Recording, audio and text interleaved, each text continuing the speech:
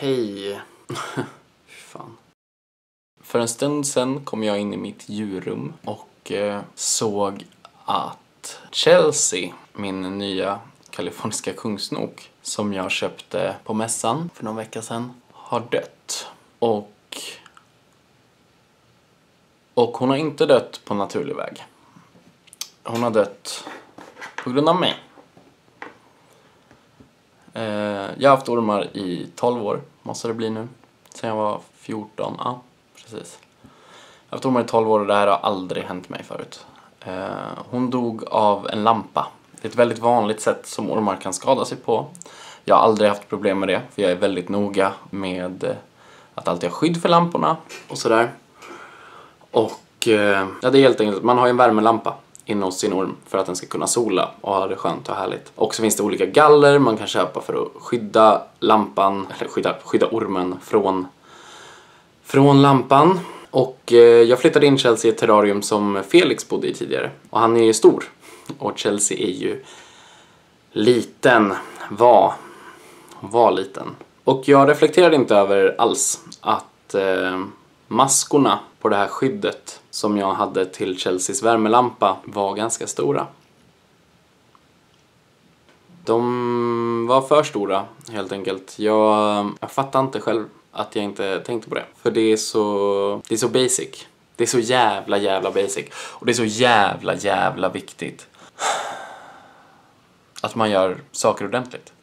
Ormen ska inte, det ska inte finnas någon risk för ormen eller djuret som du, har, du tar hand om överhuvudtaget. Det ska inte finnas någon risk för det att dö på grund av någonting du gör fel. Ett djur kan dö av sjukdom, det kan dö av eh, oklara saker, speciellt när det gäller sådana här djur. Eh, de kan vara väldigt känsliga, det kan vara väldigt oklart vad som har hänt.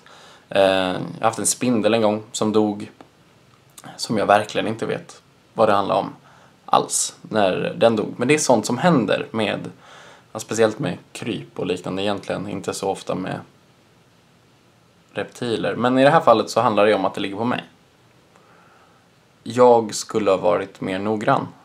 Chelsea gillar att klättra mycket, ehm, trots att hon är en kalifornisk kungsnok. Det är inte alla som är så himla glada i det. Men hon gillade, hon utforskar terrariet mycket, var runt mycket och så vidare. Och det finns en eh, plastväxt som jag har i närheten av lampan eh, som hon antagligen har klättrat upp på och sen då lyckats pressa sig igenom de här gallermaskorna på lampskyddet. Och eh, sen när hon ska ut därifrån så verkar hon valt en mindre maska ute i kanten av nätet och eh, fastnat där helt enkelt. Och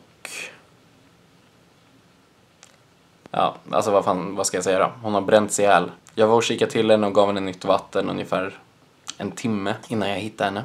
Ja, en eller två timmar kanske. Så det gick väldigt fort. Det gick väldigt, väldigt, väldigt fort. Eh, hon var... Hon var tvärdö. Nej, inte henne. Och det känns så jävla, jävla tråkigt.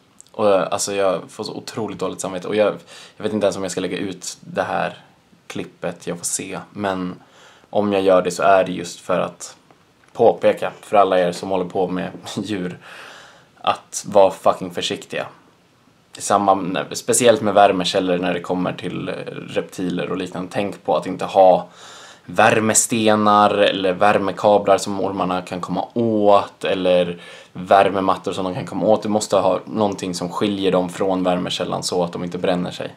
Det här kan tyckas vara väldigt, väldigt basic men det är ganska många som missar på det här. Ehm, och också då